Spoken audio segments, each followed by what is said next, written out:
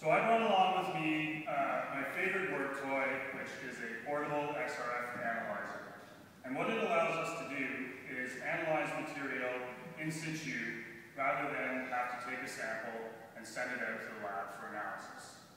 And what this gives us is real-time uh, elemental data that we can use to make real-time decisions in the field, making our exploration programs much more efficient. It has obvious to uh, exploration industries, mining industries, as well as environmental uh, science industries. So we adopted this technology very early on, and we quickly realized that it could produce uh, inaccurate results due to what is known as sampling error. So over the last uh, approximately four years, we've developed a standardized methodology which has, allows us to identify them or eliminate them altogether.